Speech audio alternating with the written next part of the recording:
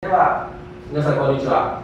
こんにちは。えー本日講師を務めます、えー高宮城治と申しまして普段はあの沖縄市の教育委員会に勤めててちょっと全国でも珍しいんですけど小学校1年から中3の情報モラルの授業を担当してますから今日は小学生1年生にとっても中3にとっても大切なお話をしたいなと思うんですが初めに、えークラスにこんな人いませんかっていうのをちょっと聞きたいんですけどスポーツ能力高いスポーツ上手だな集中力記憶力高い。つまり学力が高い成績。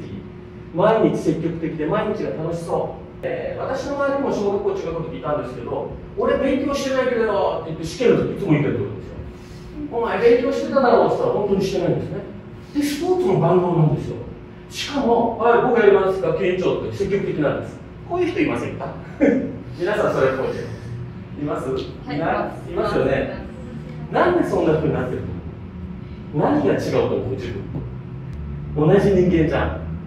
と思わない？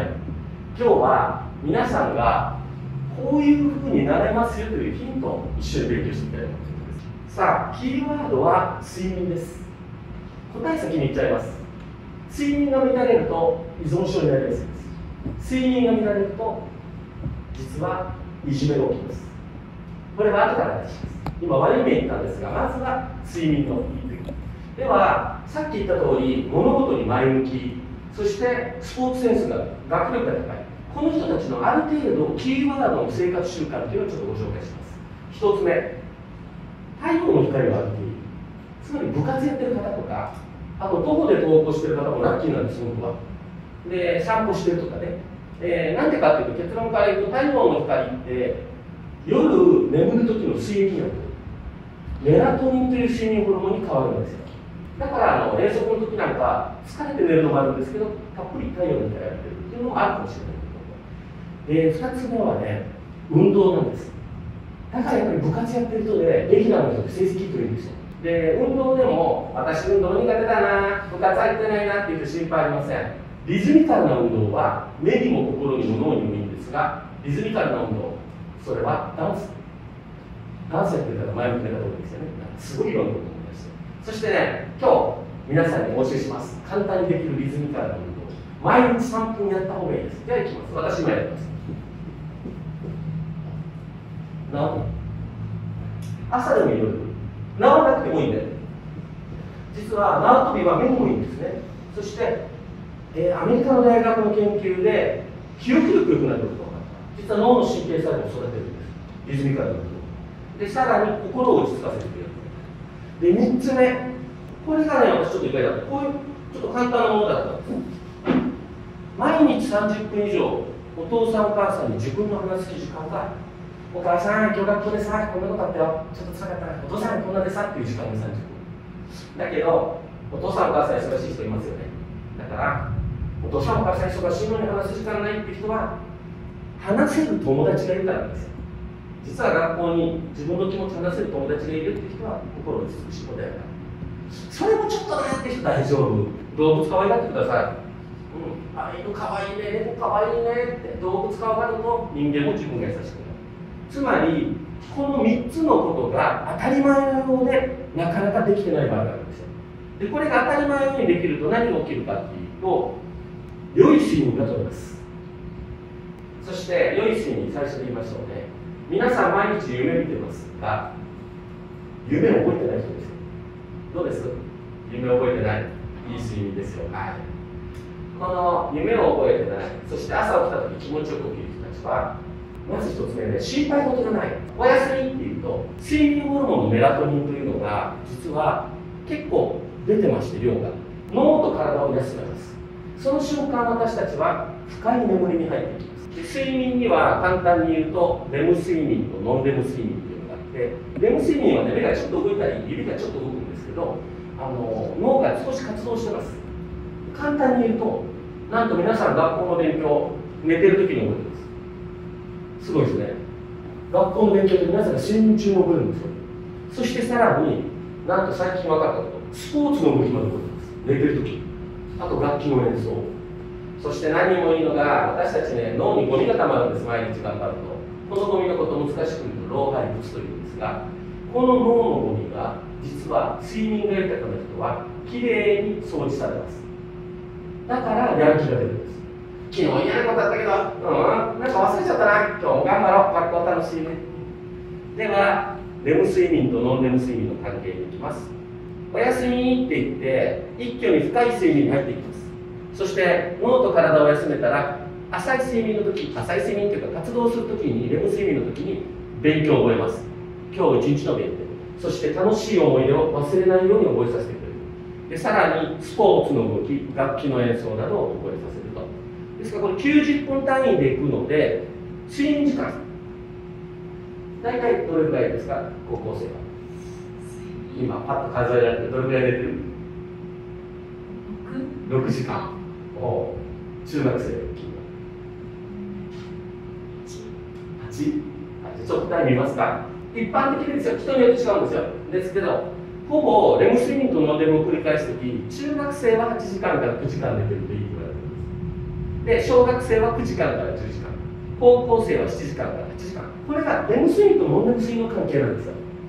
では質の良い睡眠が取れた場合どういう効果があるのか。1つ目。当然寝てる時に学校の勉強スポーツの動きを覚えてますから学力スポーツ能力高いです。そして寝てる時に脳や体の神経の傷んだところを修復してしまいます。そして脳と体の疲れはで、えー、ノンレム睡眠の時に取ってしまってあとはさっき言いました何よりもいいのが脳のゴミ老廃物を掃除してくれると。これだけのことやってたんですよ。私たちただ寝てると思って疲れが取れるだけだとところが実は睡眠というのは人間にとって非常にキーワードだったわけです。では私たちが寝ててメラトニンという睡眠ホルモンが出てるわけですから当然体と脳はメラトニンによって寝かされてます。睡眠薬と一緒です。どうやってあのメラトニンを止めることができるのかということ。目覚めを良くすることができるのかということ。太陽の光です。実は太陽には虹で分かる通りエネルギーを持ってますから色で確認ができます。赤オレンジ緑は瞳がカットしますがこの中の青色英語で言うとブルーライトというんですがこの青色はなんと目を閉じてても脳の神経に刺激を与えます。私たちに朝こう言うんです。朝だよ。起きて活動しよう。いいことがあるよ。メラトニン食べて活動しようぜ。ああおはよう。気持ちいいな。これが良い睡眠。ですから今前半に良い睡眠の話をしましたが逆もあります。私が調べたちょっと調査結果見てください。30分以上、ね、眠れない小学生30分以上眠れない中学生というのを調べたんですがちょっと具体的にいきますね。皆さんにも聞きます。1週間のうち3日以上お休みって言っても目が覚めて何か考え事してしまう。お休みって言ってもちょっと眠れない日が1週間のうち3日以上あるなって思った人ちょっと手を挙げてます。ちょっとぐっすり寝れてないなとあ2人ではいありがとう。でこれがね小学生調べた結果、え1700名調べたら、1週間のうち30分以上寝れない小学生47%、だからプラスの半分のことはそうなんですよ。そして中学生は36.5%で、1週間のうち30分以上寝れない日が3日以上あるっていうのは、いい睡眠が実は取れてないんです。後で直し方言いますから。えー、そうするとね、ちょっとほっとくと、こうなるんですよ。何もする気しない。うん、あ、なんか疲れた、疲れた。もしかしたら周りにいるじゃないですか。なんか疲れた、なんかしなくて面白くない。では、30分以上経っても寝れないよ、浅い睡眠、悪い睡眠の人、一つでも当てはまればそうなります。朝、自分で起きられない。2、3個中眠い。1週間のうち30分以上寝れない日が3日以上ある。体がだるい。そしてもう一つ、浅い睡眠の人の特徴を言います。実は夢を覚えてます。夢を覚えてる浅い睡眠なんですよ。でさらにかわいそうですが時々お化けの夢見ちゃいます。怖い夢よく見るね。怖い夢。でさ怖い夢見た時金縛りっていうのがあるじゃないあれ浅い睡眠脳が起きてて体が寝てるからで怖いと思った時に体が動かない。お化けではないです。安心してください。金縛りそしてカラーで夢を覚えてる。だからたまに夢と現実分からなくなるんですこれがね浅い睡眠の特徴。では眠りが浅い悪い睡眠の原因は何だろうかという話です一つ目はね実は不安です。今日お父さんお母さんちょっと喧嘩したなったら寝れないですよね。今日学校で友達が私がおはようって言ったら言ってくれなかったら寝れない。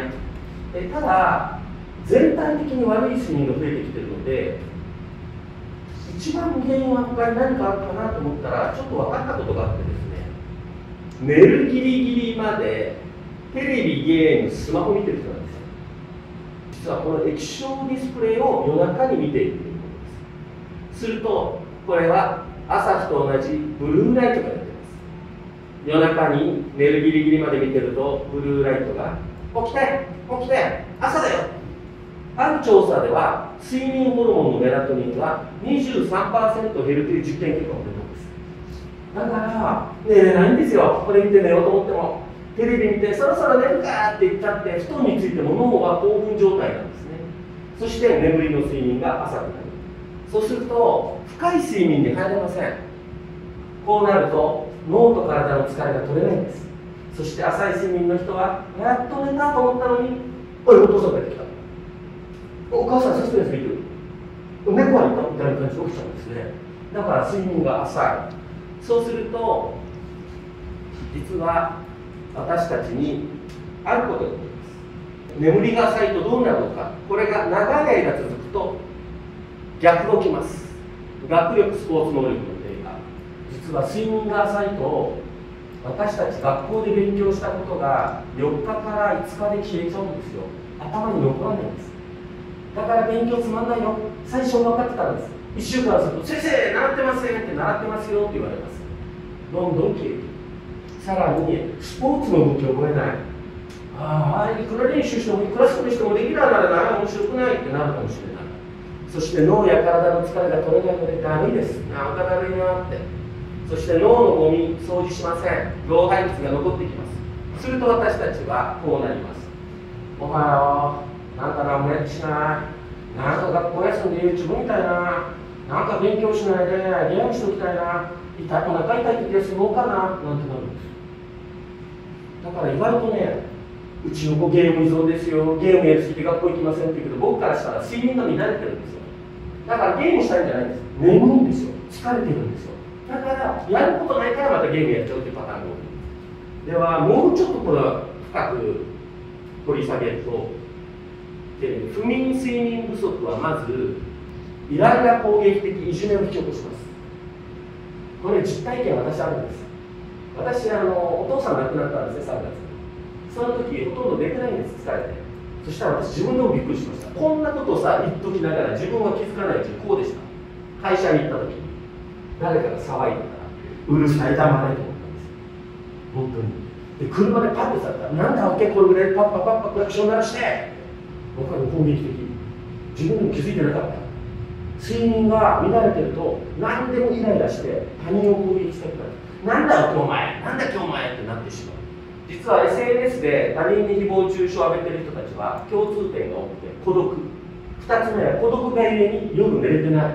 熟睡できてない。すると誰かが SNS で活躍してるとネタに起きる。なんだわけお前何だわけってなる。睡眠時間が減るほど学校に行く気力がなくなります。さっき言った通りです。ああなんか学校がいいなどうせ学校行ってもいいこと起きないよ。さらに学習と記憶に関する海馬というのがあります。私たち普段は海馬って言って脳の真ん中のね辰野年子みたいなところが勉強を覚えてるんです今日の記憶寝たらこれを脳に引き継ぐんです。そして長期記憶忘れないんです実はこの海馬が睡眠不足によってちっちゃくなってくることが分かってるんです。だから勉強に影響するんですね。えー、睡眠不足ですね。睡眠時間が 6,、えー、6時間から下、えー、7時間を下回る状態が続くと免疫力が衰えがんのリスクが2倍脳卒中などの発生リスクも高くなる。うつ病不安自殺傾向など心の問題に関係しているというふうに言われています。ではどう行動すればいいのか。いい睡眠取りたいですよね。はい答えております。簡単でした。寝る1時間前。パソコンスマホゲームの画面を見ないことです。実はこれが勝負なんですよ。私はスマホゲームタブレットを使うなとか YouTube を見るななんて言いません。やってください。でもせめて寝る1時間前はやめるんですよ。そして寝る1時間前やめて何したらいいんですかって言ったら読書をお勧めします。寝る1時間前の読書は本の内容が記憶に残る。心の疲れやイライラが消える。心が安定して良い睡眠が取れる。そしてさらに受験生の皆さんとかちょっと今勉強したいなって言ってあるので寝る30分前に勉強するんです。寝る30分前に英単語書いたり漢字とか書くと脳が抜群に思います。そして朝ごはん食べてますか？いいことです。実は梅雨時とか太陽の光が弱い時もう一つ私たちを目覚めさせるのが朝ごはんです。朝ごはんをしっかり食べると脳と体が目覚めます。集中力記憶力がアップします。太りにくくなる体質そしてもう一つです。実は先ほど孤独を感じると睡眠が悪くなる。そしてスマホゲームを長時間やってしまうと言いました。孤独って何だろうっていうと学校に行った時クラスのみんなそして周りの人が自分を認めない時。おはよう誰もおはようって言ってくれない。一生懸命そうしてるけどみんな誰も何も言ってくれない。孤独を感じると睡眠の質が悪くなる。実は私たちはもう一つ自分だけじゃなくて周りも助けてあげて睡眠を良くしたいですよね。では孤独を防ぐためには何ができると思います？正解ですね。全然違いますよね。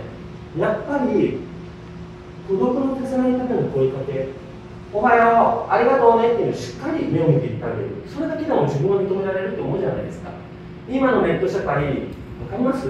スマホ見ながらありがとうって言った人がいるんですよ嬉しいですか私たちいつの間にか友達の目を見なくなったりそしてちょっとしたことにもありがとうという感謝をするするとそういう言葉が減れば減るほど孤独感になる地域の人たちも最近声かけしませんここでちっちゃい頃ねお産が頑張ってよ学校行ってあげようっておじいちゃんおばあちゃんがみんな言ったもんです今そういうこと言った不審者がいる人だったら小学生びっくりしますから声かけもなくなっちゃったそういった意味でぜひ皆さんも友達を孤独にさせないためにせめて「おはよう」「ありがとう」そういう挨拶をきっちりしましょうということそしてもう一点先生先生の話ちょっと間違えてますよ。なんで俺テレビゲームそのやってないしちゃんと出てるけどなんか学校疲れてるさあもう一つあるんです原因は朝寝坊です土日に朝寝坊すると実は時差ボケが起きるんです。だから皆さんね土曜日に夜遅くまで起きて日曜日ゆっくり寝て起きると多分夕方アニメが始まると明日学校かって気持ちになるはずなんですよ。これがソーシャルジェットラグ、えー実は時差ボケです、えー休日土日2日間いつもより起きる時間を12時間遅くしただけで体内時計が30分狂うのでなかなか眠れなくなったり月曜日火曜日まで疲れが残ります。そして気分が憂鬱になって学校に行くしないなんていうのも月火になる。これから夏休みに入ります。ぜひ朝寝坊しないでください。普段と同じ生活を心がける。寝る1時間前にデジタル画面を見ない。テレビゲームスマホの画面を見ない。休日も平日も同じ時間に起きるように頑張ってみる。そしてもう一度言います。寝る1時間前は使わない。すると早起きができて早寝ができてやる気が出ます。この状態で脳はやる気を出すとあなた方は何にでもなれます。私から言うと。YouTuber にもなれますでしょう。一流の。なんでか。脳が前向きっていうことはいいものをいっぱい作れるわけです。そして勉強をやったら頭に残ってるから楽しいスポーツもできる。何よりも積極的な人間に変わる。その土台を作るためには今ネット社会では寝る1時間前に使わない。そして寝る1時間前を自分の大切な時間にする。読書をしたりそして音楽を聴いたり日記をつけたりそして勉強にチャレンジしてみる。そういうことからスタートすることで自分の未来が見えてくるんです。そういうことをもせずに一挙に何かを目標達成しようっていうのは私は無理だと思います。普段の生活が大切ってことですね。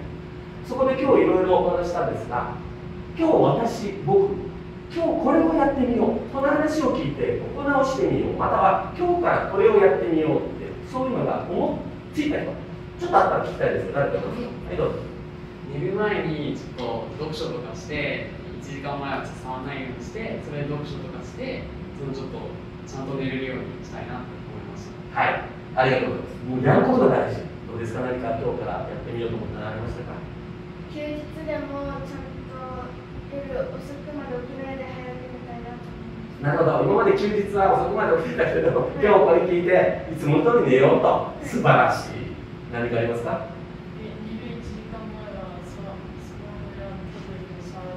やっぱりあなたもそう決めたわけですね。寝る1時間前触らない。寝る前1時間前はは守りじゃないあそうかっていうことは今までやってたんですねやっぱりねはい角野さんどうぞおいいね早寝早起きねよく昔から早寝早起き遊ばうって言ってましたもんねはい疲れた疲れたらもうすぐ寝ちゃうって感じ。おいいですよ。そういう感じですよ。はい。土日土日いつもあの土日でもすぐに。なるほど。あなたも土日でもすぐに。こういった感じでね。今まで普段の生活を直そうとかなかなか気づかなかったじゃないですか。でもそういうことが当たり前にできてスタートラインに立てる。そのことをもう一度自分で心に決める。そしてよければさ親子でやる。家族でやるお父さんお母さんも僕はやった方がいいと思う寝る1時間前テレビゲームスマホを家族でやめたら家族中が明るくなることを保証します。では夢に向かって少しでも何か変えてみる。それが大事だと思います。では終わります。ありがとうございました。